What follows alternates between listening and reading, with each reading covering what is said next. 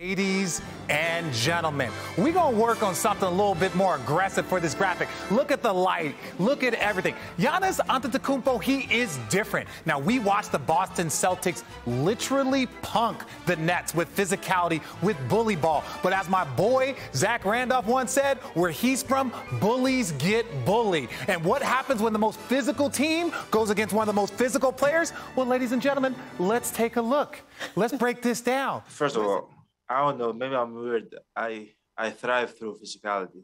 Like I like I love feeling beat up after games. I don't know why. You know, my family think I'm uh, a weirdo, but uh, you're not weird. Like you when just the game you know finish, I just kind of look at my body. If I don't feel like I'm like beat up or like you know mm-hmm. I was physical enough, or they were physical to me, I feel like I didn't give everything for my team. Mm-hmm. Now, so look, we're going to show a little theme of my guy because you know why? You want people that embrace physicality, that look for physicality. And for the Boston Celtics, watch this. See, look, Al Horford's going to give him space because he's not really a three-point threat. But what does he do? He eats that space. The two biggest guys, Time Lord Al Horford, watch this. They put him in a tough spot, and what does Giannis do? He can handle all that physicality. And it's not about bullying through the physicality, it's forcing people to help that allow for open shots for your teammates, and they knocks down the shot. Then again, here, what do we got? Jayson Tatum. This ain't KD, bro. Like, and I understand that KD's a monster, but this guy, this guy, watch this. Oh, get off me, little fella.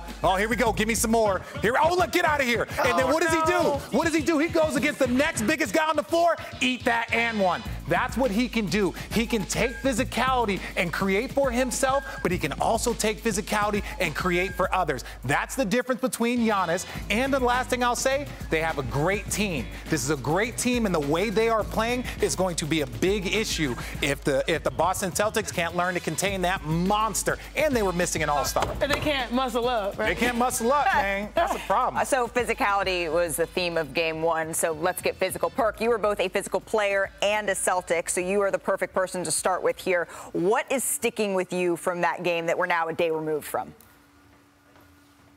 Uh, Jrue Holiday. I got to mm. go with Jrue Holiday. You know why? Because when I look at Jrue Holiday, think about last year. When Giannis was out, Jrue Holiday stepped his game up, and all of a sudden, him and Khris Middleton became a dangerous duo last postseason. All of a sudden, Khris Middleton goes out. Now he drops 25 and 10 game one and becomes a dangerous duo with Giannis Antetokounmpo. We already know what he's bringing on the defensive side of things, but I, the other thing that stood out to me is that I think it's very, very clear – that Giannis Antetokounmpo is the best basketball player in the world. Like to go nine for 25 and still have a triple double and impose his will the way that he did, his dominance, and we still sitting up here talking about how great of a game he played when we know we could have saw better. It speaks volumes on how he has taken over that throne. Perk, I know you had some thoughts on Jayson Tatum's pregame outfit. Oh, don't do that. Oh, oh, oh, oh, yeah, yeah. You know what? Look, here's the thing. I like I like when I like when guys are confident and listen. Jace T came in, he swagged up, he got his shades on. But you have yeah, but you have to you have to remember, Giannis walking in majority of the time he got his sweatsuit on and those black Air Force Ones, and we all know how it is in the hood when somebody pulling up with the black Air Facts. Force Ones. With creases. They want all the smoke. Mm-hmm. So and he gave it to him mm-hmm, with creases. Facts. Shoes tied tight, real tight. Uh, uh, yeah. Never heard Portland. Run the other way. Go right, to that octave. Right, Are you okay? Yeah, that, the black Air Force Ones with Run creases tied real tight. That's not. Uh, uh, they're not giving you no deal either. They're not no. giving you no deal. The price is the price. Uh, Giannis has said before that he he's, he's got a little something something. He just doesn't bring it out on game day. what day does he bring it out? Day. You know, maybe the All Star Dunk Contest when he's watching right. with his little phone. We, we we have a five day a week show. Okay. So we can make. Did you know that you don't show up five days a week? So we can Facts. make predictions and we have takes on the league I'm curious, Richard, did what happened yesterday change any of your thoughts on how this series is going to play out? No, I, I, in the beginning, I thought that the Bucks were going to have to shoot the ball extremely well from three, especially without Khris Middleton, because you don't have that other playmaker. So a lot of it is going to be Jrue and Giannis handling that physicality. Where he handled the physicality, didn't really shoot the ball particularly well, but you can see how that still allowed for open shots for his teammates. So if they can shoot between 38 and 42, that gives them a chance to win. But I do believe Boston's going to play exponentially better as this series goes on. Malika, it did change for me, honestly. You know, a couple weeks ago, we were talking about is Giannis the best player in the world? And I was like, let me see what happens when KD gets out there, see if the Lakers make the postseason. What? I know, but I'm Why- just we're saying. not allowed to it's mention them anymore. Okay, I know. I'm sorry, but I'm just trying to say, like, best player in the world. You're talking about LeBron. You're talking about KD. They don't You're talking a about these up and coming. They don't even know who their He- coach is. I think right now, I'm willing to say, you know,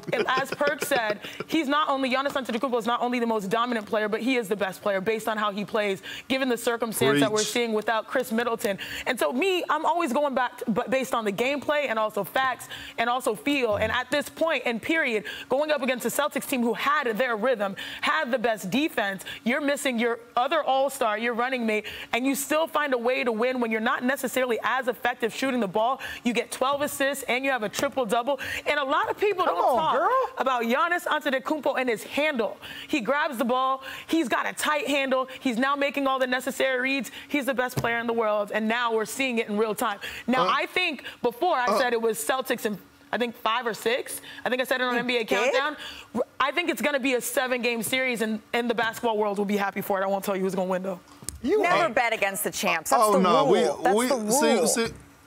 I I am. I'm still. I still got the Celtics in seven. 'Cause you work for I got the Celtics. You are- you in work seven. for I'm the rolling- Celtics, people. No, I You bleed know green, that has. bro. I, I work for ESPN. I know it has nothing to do with. I'm wants to so keep that unbiased. I'm the most unbiased person on this panel. Listen, here's the thing. When it comes down to the Boston Celtics, Jayson Tatum and Jaylen Brown, they will bounce back. Look, Hold on, look. We know that RJ is not gonna say nothing about the Nets. We know Malika saying is not cap. gonna say nothing about her Golden State Bo- Bay Area squad. She gonna ride with We're them, so we know the what it is.